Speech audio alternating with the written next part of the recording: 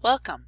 This second edition OER textbook is aligned with Wisconsin Technical College System's Medical Terminology course. It was created based on peer review feedback received on the first edition, created by a work group of WTCS faculty and librarians released in 2022. This textbook focuses on learning the components of medical terms and introduces students to common diagnostic, therapeutic, surgical, and symptomatic terms used across body systems. Work on the second edition was funded by the EduStat grant from the Department of Labor. While it is best to view this textbook online so you can interact with all of the content, there are downloadable versions you can read offline as well. In this video, we'll provide some tips on how you can best navigate the online version. So let's get started. Online pages will appear as you see them on the screen. A table of contents will be on the top left. Book and section information will be at the top center, as well as individual page navigation on the bottom right and left. Clicking anywhere in the contents bar will open a list of main chapter sections. Selecting the plus sign will further expand those into chapter subsections. The book begins by introducing you to foundational terms prefixes, word roots, and suffixes used across body systems. You can select the dash line to collapse the menu again.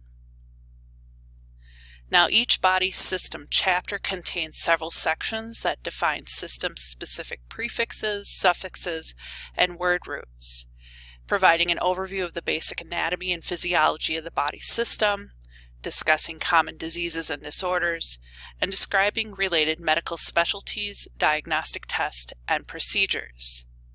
At the end of each chapter, you'll find a glossary with hyperlinks that'll take you back to where the term originally appears in the chapter.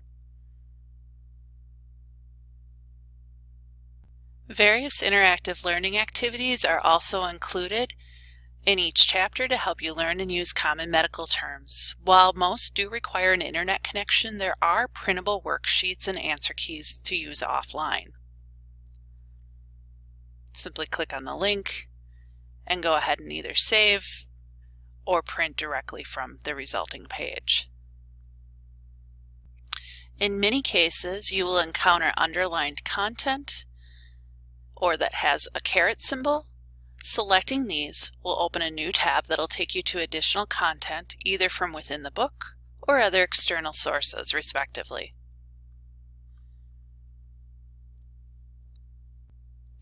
Embedded video content will play within the book.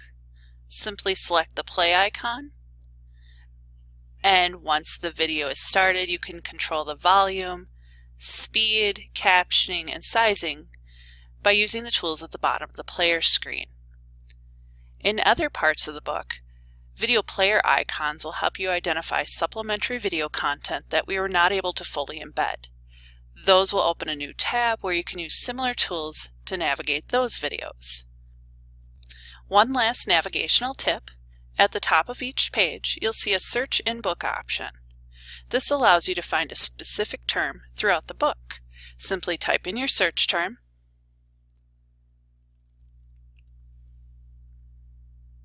Hit enter, and it'll show you where your term appears throughout the book.